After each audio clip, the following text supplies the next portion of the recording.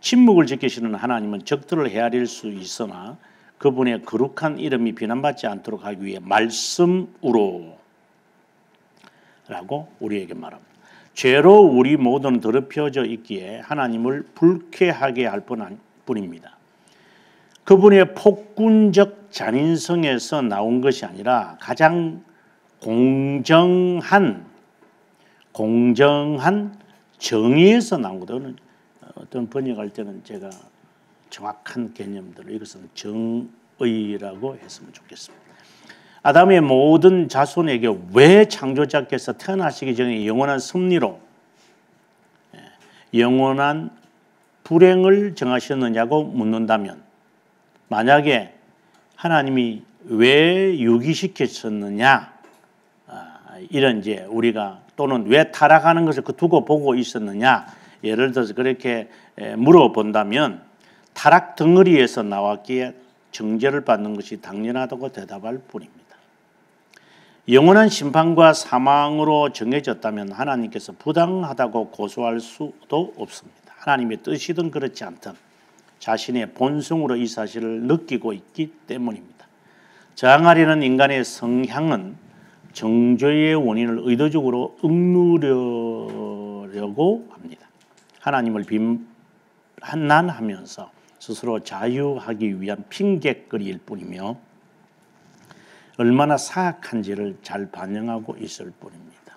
그래서 하나님 왜 누구를 선택하고 유기할 때 자신이 원하는 대로 하십니까? 이렇게 비난하는 이유는 자기가 자유하기 위한 핑계거리다. 이것은 자신이 얼마나 사악하다는 것을 자기 양심에 자기가 지금 돌을 던지는 것이다. 이 말입니다. 예. 그래서 그런 질문을 통해서 자신이 마음대로 하고 싶은 것을 하지 간섭하지 못하도록 만들기 위한 것이다. 이 말입니다. 어, 뭐, 이 예를 예를 적절한 예인지 모르지만 열심히 예를 들어서 공부 열심히 안 하냐 이러면 다른 애들처럼 내보고 어?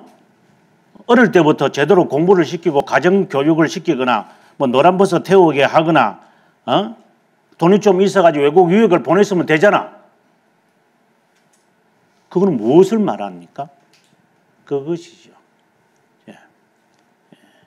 나보고 다른 그 간섭하지 말라라고 하는 그 자유를 주장하려고 하는 거잖아요. 자유 방종을.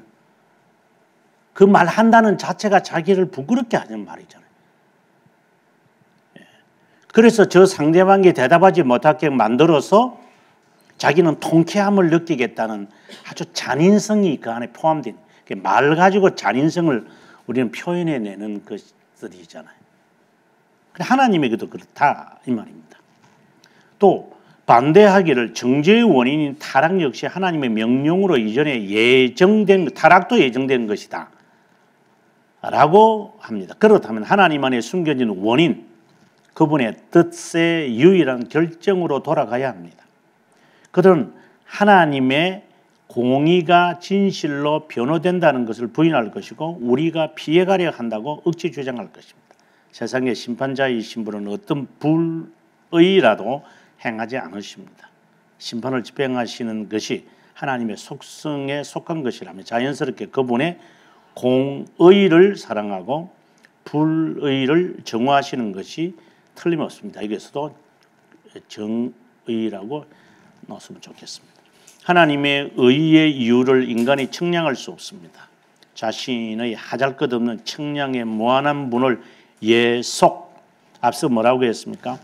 하나님의 자비함에 그리스도의 공로까지도 종속시켜야 하는데 자신의 이것을 하나님에게 종속시키려는 것을 인정하지 않고 자신의 것에 하나님의 것을 예속시키려고 하는 것은 미친 짓이다.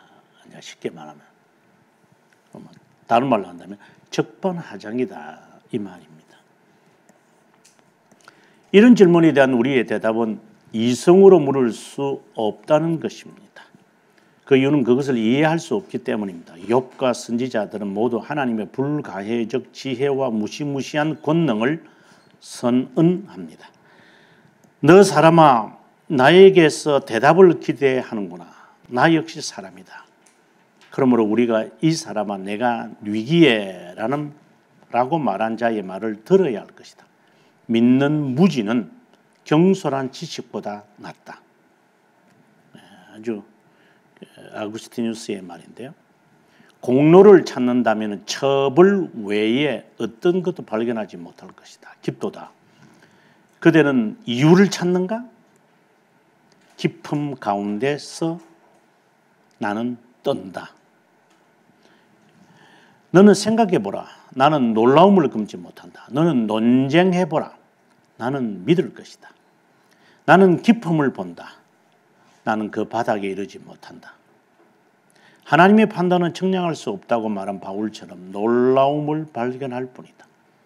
너는 그것을 따라 찾아 나서지만 그분은 자신의 길이 찾을 수 없는 것이라 말씀하신다. 자, 두